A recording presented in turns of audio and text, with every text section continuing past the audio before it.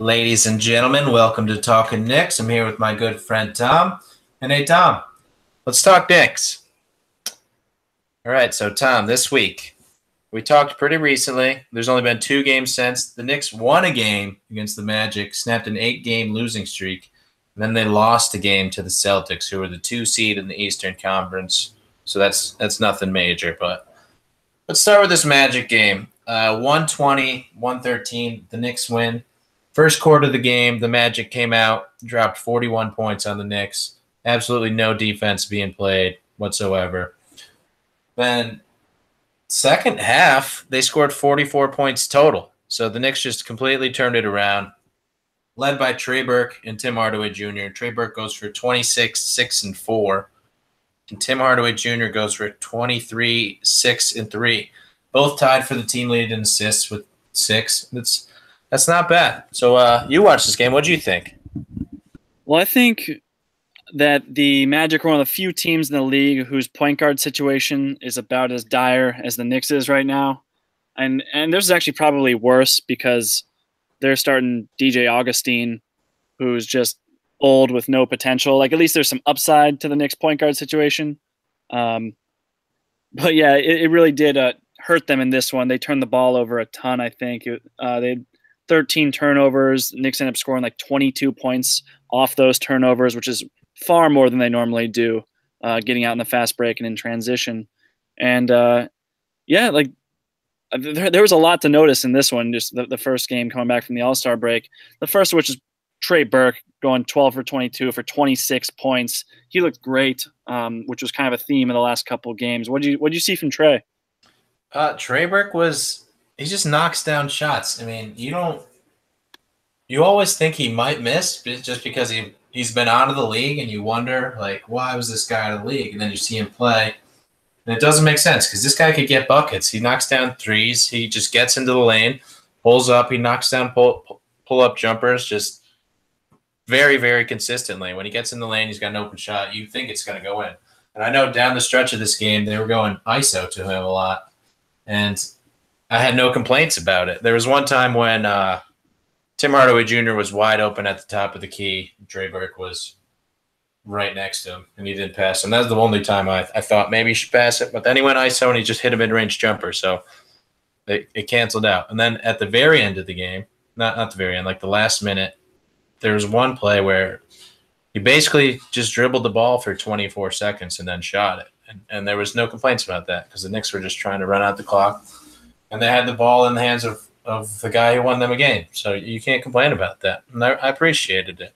Yeah, I mean Trey is definitely the right guy for the job there. I think we'd like to see Tim Hardaway Jr. be the guy for that, but yeah. he, he, struggled in this one, especially from three, just going one for six from behind the arc. Um, but I, I, agree with you on on Trey Burke kind of having some of that G League aura around him, at least in my mind. I'm thinking the same thing. Like th- there must have like the bloom's going to come off the rose at some point here. I think that's an expression where it's like, he, how long can he really sustain this if just earlier this year he was not even in the NBA? So, I mean, so far so good. He's looked like he's gotten to the rim very capably. His his handle looks really tight.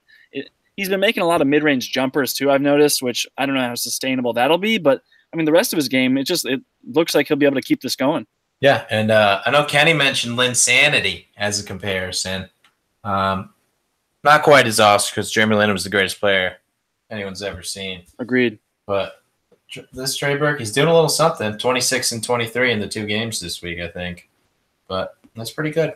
Um, and yeah. again, the other thing is, I think he had a lot. Of, he had a, a chance to just change his game completely in the G League when you're the go-to scorer. I think he was averaging like 26 and a half per game in the G League, and this is coming off a season where he was the backup point guard on the Wizards, and you don't you don't get the opportunity to just ball out like that. So that might have just changed his confidence in the way he approaches the game. He hasn't been doing that since he was in college. So yeah, it looks like he's actually having fun out there for once too. So I, I did actually watch him on the Wizards last year, and it was ugly. He just he didn't look like an NBA player, but it, it looks like a completely different guy. It probably is a mental thing, like you said. So um, but there were other guys who performed well in this one too. I I, I was impressed with Kyle O'Quinn. Um, one stat I, I, saw was that the Knicks outscored the Magic 22 to 4 in second chance points. And uh, I mean that's a huge margin. Kyle O'Quinn had eight of those second chance points. He was he was grabbing boards. He was uh, he was six eight from the field, 14 points, eight rebounds uh, in just under 19 minutes. So real efficient game from him, and it, it's it's good to see him um, doing a lot with his minutes. You know, I think a, a, lot of guys were a lot of Knicks fans were hoping he might get moved at the at the trade deadline, but I, am happy to have him on the on the squad. Yeah, the, you'd like to to have an asset for him, but we the Knicks fans really like Kyle Quinn. This guy just gives us all every game. He's he's kind of crazy, a little reckless. He gets a technical every now and then for just throwing somebody, but you know, comes with the territory. We'll accept it. Another guy we got to talk about was, is Frank. Uh, stats don't jump out at you, but he played the entire fourth quarter in a in a game that they won. So that's he's just very very steady when he wants to be, or when, not when he wants to be. I'm sure he always wants to be. What just when he has it, he can be a very very steady guy, and you can trust him to to play lockdown defense and just when he's not turning it over, he's a good guy to have on the court. I mean, his defense really jumped out at me when I was watching. Like, I think he swatted Biyombo at least once, maybe even twice at the at the rim. Yeah. Like, he just sort of stood straight up and and seemed like he was kind of even hard to move, which is not something you'd expect from the, the skinny 19 year old. But just he was he was locked in on D. It was it was impressive to watch, um, and he, he was playing a little bit of point guard and off the ball. I noticed because he was running in the fourth quarter with Trey Burke a lot of the time, right, Greg? Uh, yeah, he was. For, and Trey was being the, was the lead ball handler for a lot of time, and Frank did fine off the ball as well. So that's promising to see. I I'd like to see. I've said it last pod as well, but you know, I want to see him in that primary ball handling position as much as possible. But I mean, just to even get him fourth quarter minutes and being productive, that's a step in the right direction. Yeah, and I think he swatted Biyombo once and Hezonja once. That's right. That's yeah. right. Hezonja one was was the big time one down the stretch in, in transition. And that that uh that was big time. Then he had a he, he turned it over, I think, on one end, and then he ran back and he stole a pass on the other one when they were trying to make a, a transition pass to Biyombo. So that was good too. Then the other thing he did, he knocked down some free throws, clutch free throws down at the end. He missed one, but it was good to have him on the line for some pressure free throws. He knocked he went two for two one time, and then at the very end of the game, he went one for two. Which I mean, obviously you prefer he make them all, but it was good for him to have some pressure. But another funny thing we got to talk about that we had this game comfortably in hand, and then they just started to blow it again. That they were winning by 13 with a minute and 43 left. And this game got down to five points with 19.6 seconds left. And then minute eight or 16 seconds left, 118 to 112. And the Magic inbounder just passes the ball to Lance Thomas, and the and the game's actually actually over, which was just classic Knicks. Just almost blowing an unblowable game. It's well, it's just... funny. It's funny, Greg, because uh, it seemed like a lot of Knicks fans, at least the ones I was following on Twitter, were almost upset at this win. Like, there's this whole idea of the the tankathon going on, and and the Magic were one of the, the primary teams that we need to jump ahead of us. That, that at least it's even plausible that they may jump ahead of the Knicks uh, heading into the lottery. But you know, this is what I, someone made the point on Twitter. Like this is what you want as Knicks fans for the young guys to play to play well, and if the result of that is a win, you really can't complain about that. Yeah, and I know we talked about a little bit last pod, but how bad these teams at the bottom are. But once you actually watch the Knicks play against one of them, the Magic are really, really bad.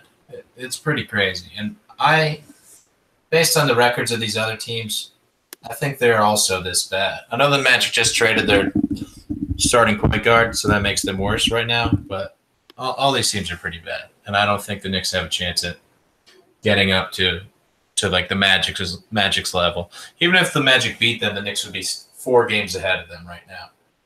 And one thing is we need we needed the Knicks to win a game because we didn't want to end the season on a 28 game losing streak or whatever it was going to be. Eight eight game losing streak hurt that was a very long time to, to not win a game. Even with, especially without Porzingis, you want one glimmer of hope in the locker room because these are actually people too, and they live their lives. And if they're just losing every single game, that's just terrible for them. They're not they're not going to perform well for the rest of the season or or next season. Yeah, and one one major change that we should probably talk about from this game was a, a shakeup to the starting lineup, and that was Jarrett Jack was taken out of the starting lineup, and not only that, he got the DNP coach's decision, didn't play a single minute. Only player, only player on the team to get that too. Right, and uh, he was replaced instead by the new acquisition, Emmanuel Mudiay, who got uh, just under 23 minutes of play. He wasn't seeing as much of the fourth quarter run, I don't think, as as uh, Frank and Trey were. But um, you know, he he ended up having the worst plus minus on the team. Take that for what you will. Um, but his his stat line was was fine. He ended, finished with eight points, five boards, four assists. Like, um, just the two turnovers. So it wasn't it wasn't so bad. Um, it, it's not necessarily all his fault that the team didn't perform as well with him out there. Oh, did you notice anything from his game? Um, no, not really. I know he he was he's been posting up a little, which is not bad. Uh, I didn't expect that from him. I guess I was I was reading Knicks Film School. They had a good tweet. They said that he had I think two or three post up buckets his whole season on the Nuggets, and he had two or three in one single game. It might have been this game against the Magic. So it's interesting to see how he's going to transform his game in a in a new opportunity. Just like Trey Burke, you go you go from being like a backup point guard who is very reined in to unleashing the beast, and you can do whatever you want. I mean, you make mistakes, that's fine. We're not in a position where we're fighting for a playoff spot anymore. So being able to loosen up the leash on guys like Frank and Mudiay is good for them. They can see what they can do out there. Yeah, and and you know I don't know how much more we have left on this game, and I don't want to necessarily end it on a negative note, but there were it wasn't all good here. Like Tim Hardaway Jr. shot one of six from three. Kind of he had the the one hot streak last week, but uh, kind of was back to his cold shooting self here. The, the Knicks in general just shot seven to twenty five from three, which is which is pretty trash. Um, and, and then the Magic, the Magic shot 11 for 24, 45% from three. So it's polar opposites. Yeah. And then, and then one other thing was Luke Kornet getting seven minutes of action, going 0 for 5 from the field, 0 of 3 from, from behind the arc. I don't, I don't know about you. I, I think I'm, I'm down for a little less, a little less Luke Kornet.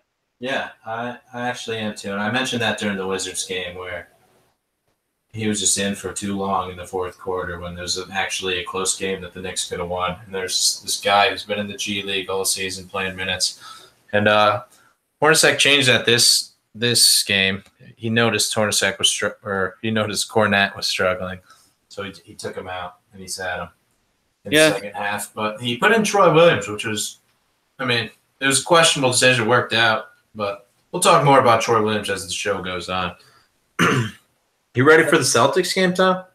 Yeah, I, will say one other thing is just we we always kill Hornacek whenever he doesn't play the young guys. So I guess we should give him a little praise when he actually does the right thing. He didn't play Jarrett Jack for a moment, as we mentioned before, and he gave minutes to the young guys. So hats off to to Hornacek for that one and sort of sticking to his word, or at least all the, the talk around the youth movement of the Knicks. It's uh, hopefully going to come to fruition here. Yeah. The one thing me and you were talking about pre pod is the minutes for Courtney Lee. And maybe this is good for the development of these young players, but this is bad for his trade value. For we're planning on moving him in the offseason. I know it's easier to move a big contract like his in the offseason. So that's what I was thinking happened at the trade deadline. You're not going to get what you want for this guy. You still got two years. Maybe once this year is off of his deal and then other people have cap space during the offseason, it'll be easier to move him. But if you just don't play him, played 14 minutes against the Magic, that that might be tougher to move if people aren't seeing this guy play. But I mean, maybe maybe the half season we did have, he did a good enough job for his value to sustain itself. Well, Greg, I think you kind of nailed it. My my major concern here is just that prior to the trade deadline this season, he was playing so well in his minutes, right? And that was what was fresh in other teams' minds when they were going to go to trade for him. And yeah, like that kind of stuff can can wear off. Like that perception can wear off if he's only getting 14, 15 minutes a game and not really uh, being given the opportunity to to score like he was earlier in the season. Then yeah, his trade value would def- will definitely decline. But you know, we can't have it both ways. Like before, we were bemoaning the old guys playing and not getting enough development. Now we're starting to see the opposite of that. And and I don't want to complain too much about the other side of the coin here, but you're right. Like there's there's also a major risk here. So I mean, ho- hopefully Hornacek is able to find some balance between playing Courtney Lee, his minutes, showing off what he can do to, to up his trade value or at least keep it constant, and uh, and getting the young guys experience. Yeah. And then the one last thing I'll say about waiting until the All Star break to make this change is why? Why did why? Why did we have to wait until that? That's not All Star break's not like a it's just a symbol in Hornacek's head, I guess. But this next season just went down the drain as soon as Porzingis uh, got injured, and it was well on its way out before that. So this change could have been made prior to this. I guess it's better to ease yourself into it. Such a drastic change, but I, I don't know. I think this could have happened earlier. But I mean, it's here now. Can't complain. We'll move on to the Celtics game. Celtics beat the Knicks 121 112. The Knicks put up a good fight. Um, Kyrie Irving went off on the Knicks in the third quarter. I think he had like 15 or something points. Ended the game with 31. Knicks' best player was uh, Trey Burke once again. Obviously, I think he scored 15 in the first half. Uh, main complaint some fans had was he scored those 15 in the first half, and then he didn't get back into the game after halftime until 131 left in the third quarter, which I don't know, that's a little little questionable from the guy who's who got your team cooking, but you know, it happens. Tom, you didn't you didn't see much of this game, but what, are you thinking about these box scores? Yeah, well, like I actually caught the uh, Trey Burke's made baskets, and I just wanted to see how he was getting his points. And, and like I said, it, it was again a it was an instance where he's getting to the rim like a lot and, and, shooting the ball very well there. And for such a little guy, it's impressive. It kind of reminds you of Isaiah Thomas from the Celtics last year. You just wonder how these little guys are able to get to the tin, absorb the contact, and finish. And uh, I mean, last couple games, Burke's been right there doing it. So I, I thought that was impressive. Again, he was he's he was hitting some pretty tough contested mid rangers. Uh, they're fun to watch and they, they definitely get the crowd going. But I, again, I, am not sure if he'll be able to keep that up. Um, and then as far as what else I saw, like you mentioned Kyrie Irving going off. And one thing I remember from the first, from the last matchup with the Celtics was Frank really giving Kyrie some issues. There were some highlights going around of Frank hounding Irving and making life very difficult for him. And so I was hoping to catch some more of that this time around. And I saw, again, you mentioned Knicks Film School. Uh, they they put up a tweet showing that Frank Ntilikina guarded Kyrie just for four shooting possessions. So that's four of Kyrie's 22 shooting possessions.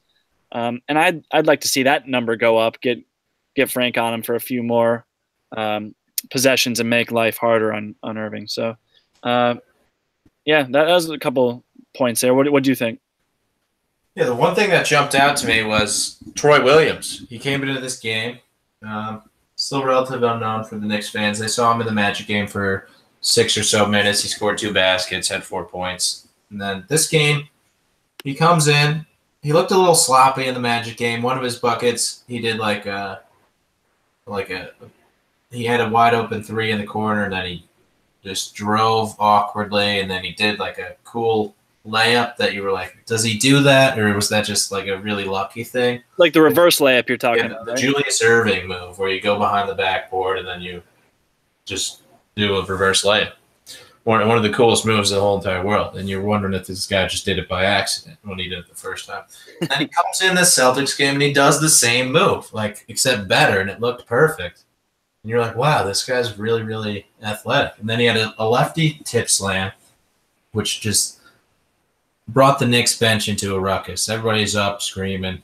You felt good about the Knicks again. Uh, they got him close. I think he had another, either that one or, or a different shot he hit. Got the Knicks within three with five minutes left against the Celtics, which is impressive for this Knicks squad. And then Troy Williams ended the game six for nine shooting, 14 points and four rebounds. So Knicks fans might be excited about this guy. We might have found something here. I know the Rockets were sad to see him go. Uh, so hopefully we'll see more minutes from him going forward too. Yeah, and Greg, he was he was six of six from inside the arc too. He didn't miss a single shot from uh, from two. Uh, made both his free throws, so that's nice to see. Oh of three from from three. So if he's going to be like a three and D ish type of wing, uh, and maybe that's not his game at all. Maybe he's more like a, a Beasley type of wing who just goes and gets buckets. so um, yeah, we'll, we'll have to watch a little more of him to really understand his game. But yeah, it's good to see him just bringing energy and a little bit of aggression and some athleticism around the rim. So then you you mentioned his defense earlier too. Uh, with this Knicks film school, we'll just keep bringing them up. They do good stuff. So if you want to follow them, we, we follow them. We, we appreciate what they do. So according to them, uh, and some some chart they made, he guarded Jaylen Brown, and Jaylen Brown shot five for five from him. That was the only person he defended during the game, or that's the only person that launched a shot against him at least. So maybe that's that's less than ideal.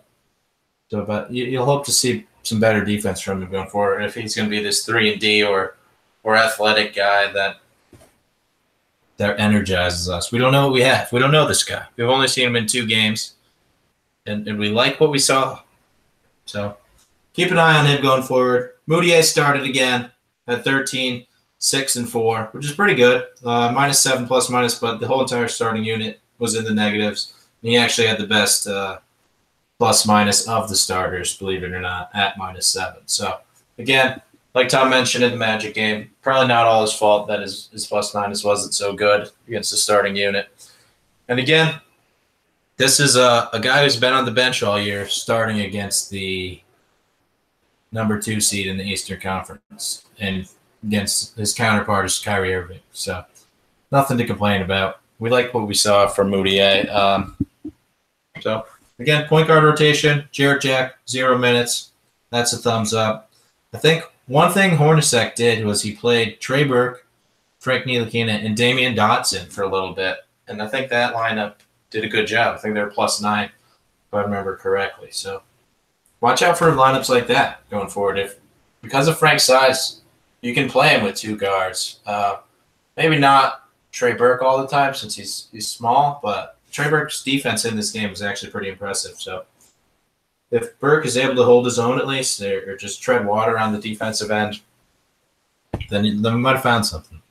Yeah, I mean uh, Burke can hopefully hang with opposing point guards and then and then slotting Ntilikina onto shooting guards. That sounds doable to me. And and Burke just brings some nice off the bounce shooting ability, right? Like there's just not a, lot of guys that Knicks have had recently who can just come off a screen and pull up from three. You know, like you, all the elite point guards from Steph to Dame Lillard, James Harden, Chris Paul, like all these guys can just pull up off of screens and hit deep shots. Jarrett Jack was was pulling up from long two and just bricking with a lot of consistency. So it's nice to have a little change of pace where Burke can actually pull up for three and hit and actually be a, you know a danger to like defenses will react to him coming off a screen while he's dribbling.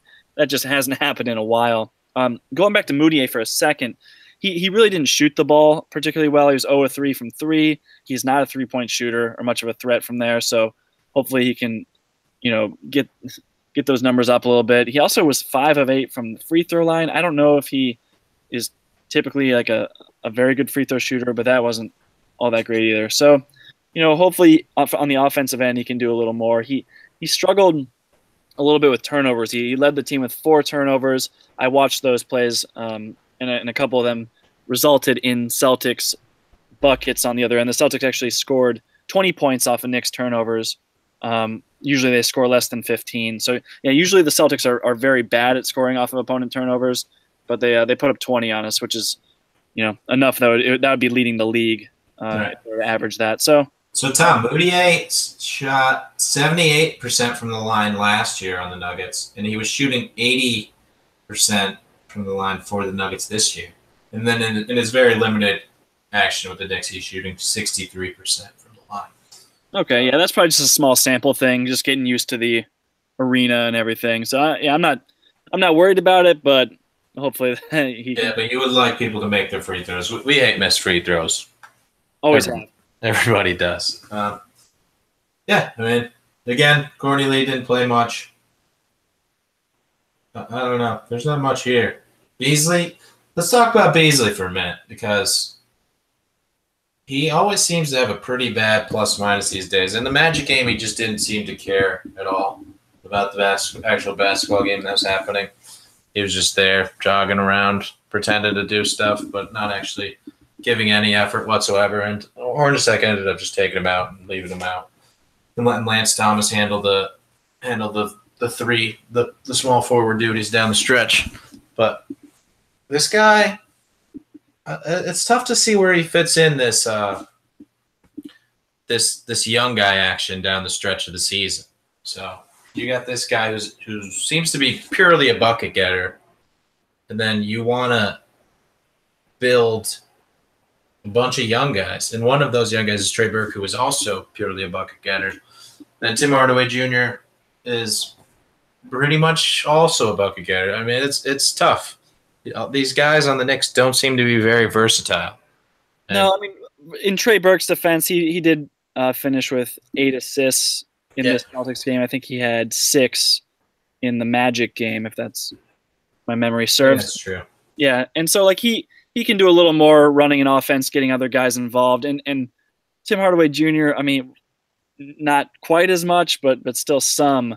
Um, Beasley's consistently putting up the zero assist mark, uh, and I, he's the type of guy who just likes to be in the spotlight. He likes he liked when the Knicks were kind of closer to relevant earlier in the season when people were watching. The Garden was buzzing. Uh, he feeds off that. That's kind of part of his ego. But th- this team's not going to be sniffing relevance for the rest of the season. So I could see him getting disengaged, disinterested very quickly. Yeah, and you might. I know, I know the, earlier in the season he was getting some DNP CDs, so that, that's possibility again. I, I don't. Yeah, We'll and then there's also the the possibility of that lowering his trade value. What I mean, but he's he's on a minimum. He's on a one year deal, so he doesn't even have trade value. That's true. I guess now that the, the trade deadline is passed, like he could have gone for a second rounder before for a team who needed some bench scoring, but um, now that's off the table. Yeah, th- then there's really no reason to play him at all if, if he's not a part of the long term plan or even next year's plan. But I mean, he could be part of the next year's plan as Porzingis is going to be out for a good amount of time, and then once he gets back, we'll be back to where we were and just move Beasley back to the bench. Because honestly, the, this bench, you don't know who you would put into that starting slot for Porzingis other than Michael Beasley. Uh, Lance Thomas, maybe, but I don't really like. He's he's really not an NBA starter, if we're being honest with with ourselves. So having him replace your best player, your All Star best player, is is less than ideal because Beasley on any given night could have All Star talent. Very inconsistent. Usually doesn't have the All Star talent, to be honest, but you know he could. That's what Yeah. we like. I mean, Kenny's not here, so we can speak the truth on Lance. Um, I mean, I, I like Lance, but yeah, not not necessarily a starter quality player. Um, but the thing is, I know one thing Kenny is always concerned about is is Beasley's the potential for Beasley to limit the um, the development for some of the younger guys. Because when Beasley's on the on the floor, a a lot of his points are scored in isolation. Mm. He's not doing it in the rhythm of an offense. He's not getting other guys involved at all. So it, it hurts when you just have guys like Frank and Trey just standing around watching Beasley go to work. As a fan, I like watching Beasley go to work, but I could see how his teammates might get fed up with it and disinterested over over time if that's just sort of his his go to uh, role on the team, even next year. Yeah, that makes perfect sense to me. Um, I don't have much more to say about this Celtics game. I don't know if you have anything else to add. Uh, no, just looking to see if anything jumps out. But um, no, you mentioned Dotson getting minutes and being productive in those. Um, Yeah, Dotson got seven minutes in the Magic game and the Celtics game. Hopefully, we got something there. Um, we we want him to be. I think we want him to be a three and D guy. I don't. I haven't seen him do anything that really jumps out at me of him getting into the lane or anything like that, or being super athletic. But I like his shooting stroke. I think that's why the Knicks drafted him. Um, he's just supposed to be a pure shooter. He's got a decent size for his position. He's not huge, but he, he's he's a shooting guard size. Um, hopefully, he can defend the position. So just have a nice little shooting guard backup bench piece. Yeah, one thing that one thing that kind of surprised me. Is so he was plus nine in, in his six and a half minutes. He had three turnovers in that short amount of time. I was wondering how he pulled that off and how the, the Knicks were still able to go up plus nine in that time with while losing three possessions. Hey, when you're good, you're good. When you got it going, yeah, why not? Just give the ball to the other team. They probably turned it right back over. Yeah, that, that probably makes sense.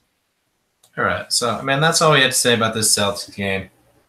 Um, not much news on the Knicks front. Troy Williams and Trey Burke are, are two guys that we added midseason who we got Trey Burke under a, a, partial guarantee next season, so I'm sure he'll be back next year. Yeah, because the it's for the minimum, so it doesn't really matter. The Knicks, they can just if they don't like him, they'll just tell him to go away eventually. So because James Dolan is rich and he doesn't care about anything. then with Troy Williams, you just hope you he evolves into a bench piece, or or we don't know. He's young enough, so maybe he can actually be something. I don't know anything about him. I've seen him play two basketball games. Then this Joakim Noah situation. That's what we should talk about. I was going to go there next. It hasn't really developed much, but there was minor development. It seems like he's not going to come back to the Knicks this season.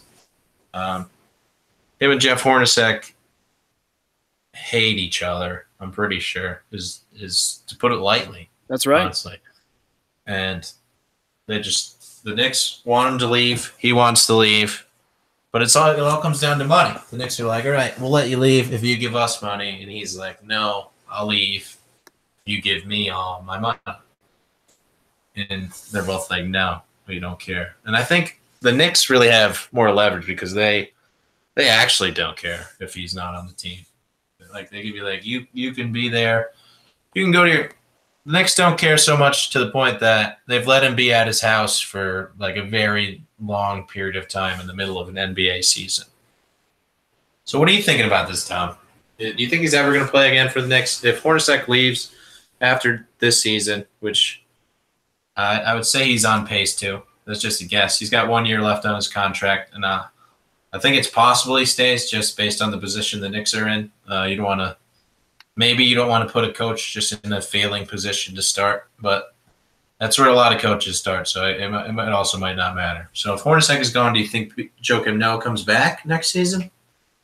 Yeah, there's a there's a lot there. I think, first of all, I, I don't think Jeff Hornacek is going to be gone next season. Uh, partly, partly for the reason that you mentioned that, um, like they'll probably want to bring in a guy to help when the Knicks are like on the upswing. But for this tank, like Hornacek might be the right guy for a tank in their eyes. Um, I, I don't know. I if he were to be let go, I think Noah would come back to the team and play, and probably not play a lot or not play particularly well. But I think he would get minutes at least or be around the team. Um, but since that's not happening, uh, you you said that you thought that the Knicks had the leverage, and I'm not sure I agree. Just because it just feels like Noah has him held hostage a little bit. Like, just yep.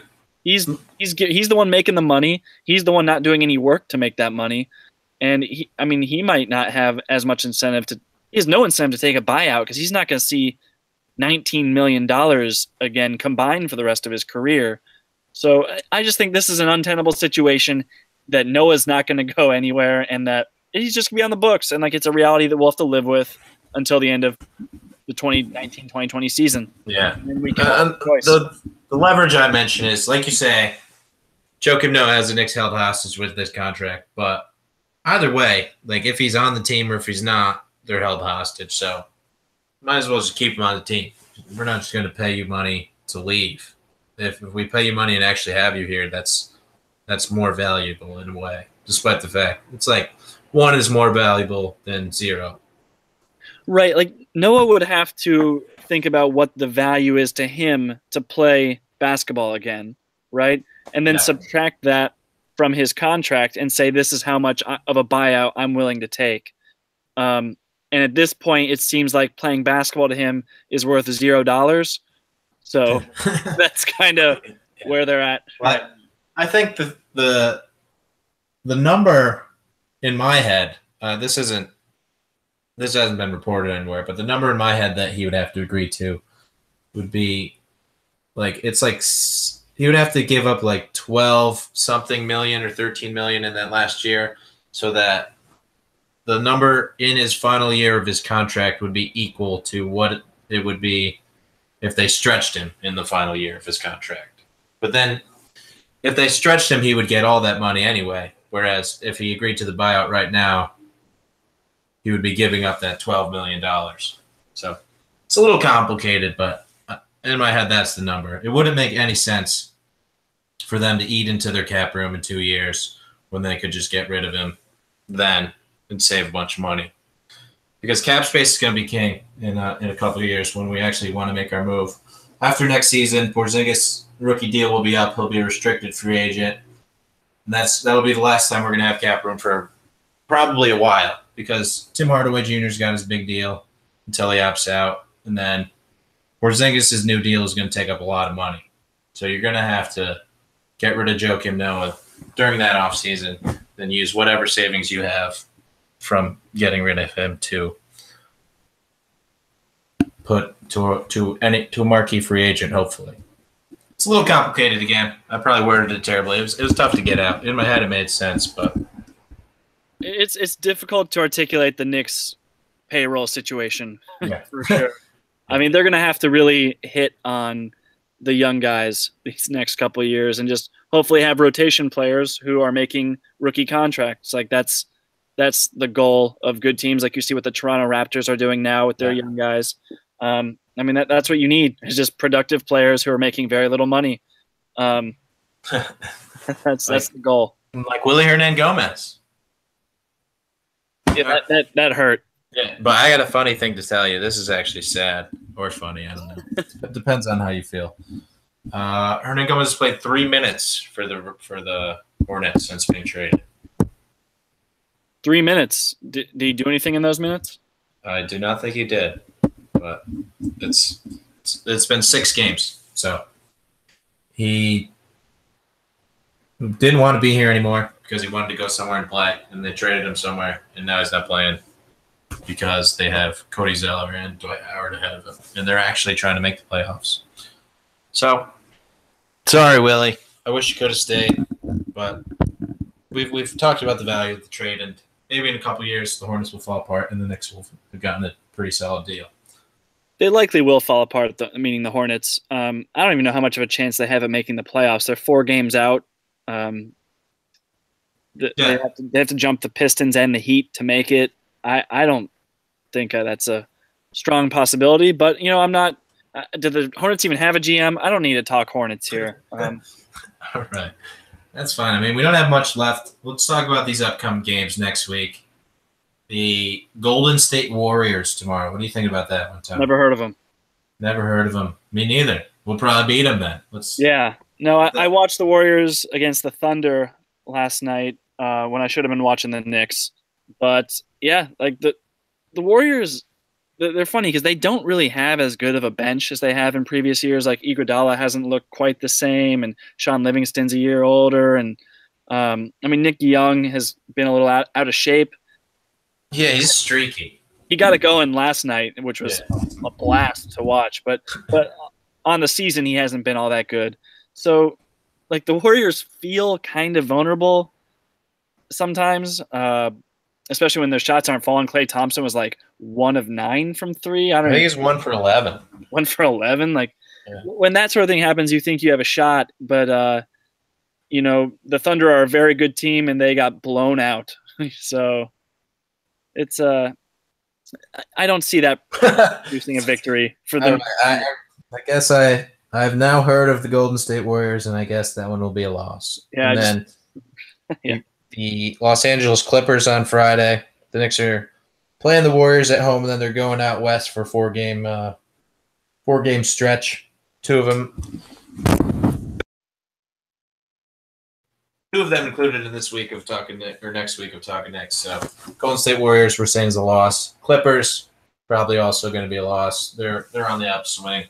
They're actually fighting for a playoff spot. You thought they were uh, giving up when they got rid of Blake Griffin, but they're actually not. they're they may be trying harder. Actually, they extended Lou Williams for three years, twenty four million dollars, which is seems to be a pretty good deal Yeah. for them.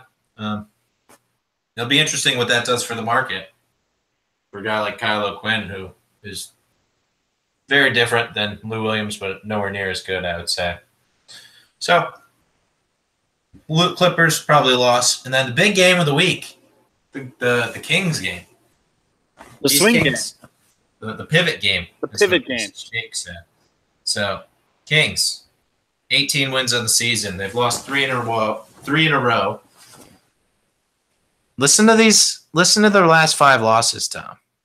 Eight points to the Blazers, five points to the Timberwolves, nine points to the Rockets, three points to the Thunder, and five points to the Lakers. These are close games. Yeah, man. When you're in full tank mode, that's what you want. You want to be competitive. You want to play well enough to make it a game, but to ultimately lose. And that's what the and the Kings have gotten very good at losing over the years. So um, I, I don't. I, I expect the Knicks in Sacramento. I, I still think the Knicks will probably find a way to pull that one out. Um, but yeah, I you know at this point I don't I'm not in full like lose every game possible to get the best.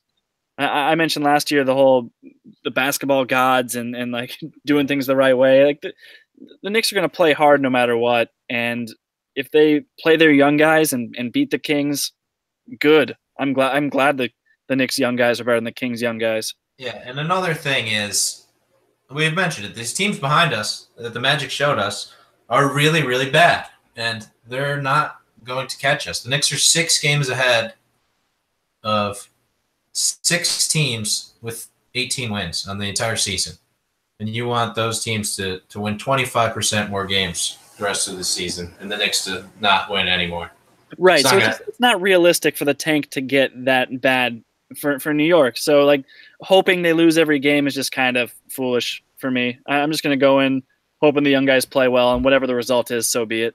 Yeah, I think we're we're at a spot where the Lakers and the Nets may be ahead of us. Everyone else is, is probably set in where they are.